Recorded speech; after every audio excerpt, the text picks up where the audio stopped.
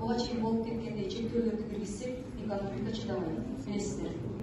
Абдан оор болуп атат да. Биздин тандообуз өкмөттүн тандоосу кыйын чектетип буга чейинки чпчс решениялерди толук кандуу киргизсек ошол эле тойканалар гана эмес жалпы экономикалык мындай экономика аралашкан иштеп жүргөн ишкерлердин боочуна келет да ситуациялар. Кредиттер боюнча мына депутаттар көтөрдү туура көтөрүп жатышат.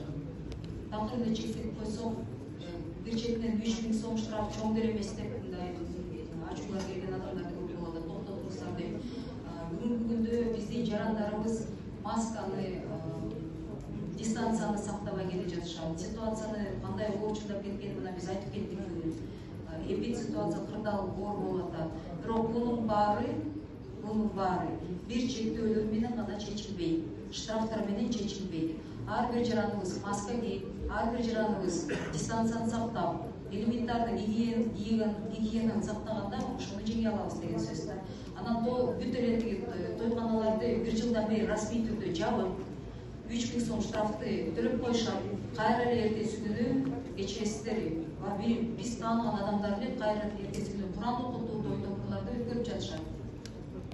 баары ошондо болуп атат сөздүн ачыгы штрафты көтөрсөк деле ал мындай чоң сумма болбойт бирок бул күчкө салып мажбурлоо системасы менен биз жеңбейбиз мен ойлойм биз диалог бири бирибизди түшүнүп сүйлөшүүлөр менен масканы кийүүнү мындай агитация кылып анан хроникалык оорулары бар жаштар улайып калган адамдарыбызды сактап келсек ситуация ичине бир кыйла бир топ жеңилдейт чек араларды мисалы казакстан өлкөбүздөгү кошунабыз.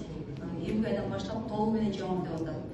Россия федерациясы учурларды чектетем деп атат да. То есть жабылам деп атабыз европаларда такыр жабылабыз дейт бирок аякта экономикалык кырдаал башкача. Бизде жазында жайында толук кандуу компенсацияны бизнеске дагы жарандарыбызга дагы жүз процент бизди өкмөт төлөй алган жок. Кыз чуулардын мына күзгү кыз чуулардын дагы бир мындай себепкери ошол болуп кетти. Деп эл арасында айтылууда экономика менен ден соолуктун ортосунда тандоо эмес. Бул экономика менен анан гигиенаны элементардык медициналык ошол требованияларды сактоо болуп атат